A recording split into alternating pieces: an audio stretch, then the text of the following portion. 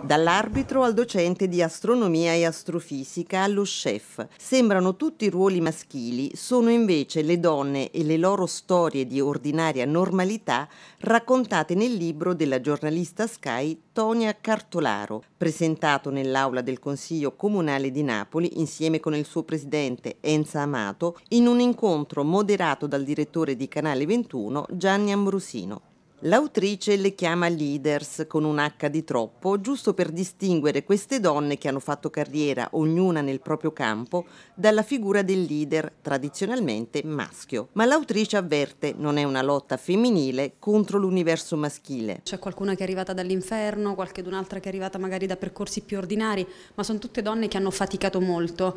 Dietro le loro storie, nelle loro storie c'è il sacrificio, c'è ehm, la costanza, c'è la perseveranza, c'è la volontà c'è l'impegno quotidiano, c'è eh, tanto lavoro, tanto lavoro, c'è tanta sofferenza e poi tanta soddisfazione.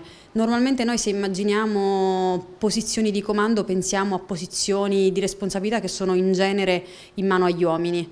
E invece lo sforzo che dobbiamo fare è iniziare a pensare probabilmente che quella responsabilità può essere condivisa. Questo non è un'occasione per mettere le une contro gli altri, cioè le donne contro gli uomini. No, è con il contro non esiste, anche perché le sfide importanti, i cambiamenti importanti nella vita e nella storia si fanno insieme, non qualcuno contrapposto a qualcun altro. In effetti è un po' il senso del libro. Testimonianza di capacità e perseveranza viene da Rosanna Marziale, chef di un rinomato ristorante casertano. In cucina c'è lei che guida una squadra di cuochi, tutti uomini. Io sono una cuoca, ho inventato dei piatti per cui posso dire di essere un esempio perché i miei piatti vanno abbastanza bene per cui sono un esempio e spero di esserlo per le nuove generazioni, quindi dalle bambine a chi sta già uh, facendo gli istituti alberghieri.